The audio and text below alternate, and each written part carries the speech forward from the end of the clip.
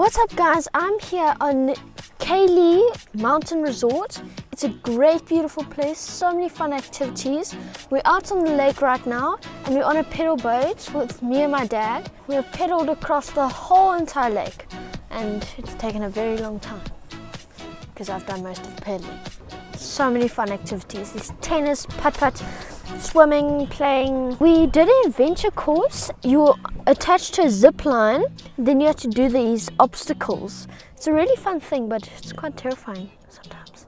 And you had to like switch onto the other wire, and you walked on tires, rubber, and the most challenging part was the end. And it was these logs that were hanging from ropes, and you had to walk on each other.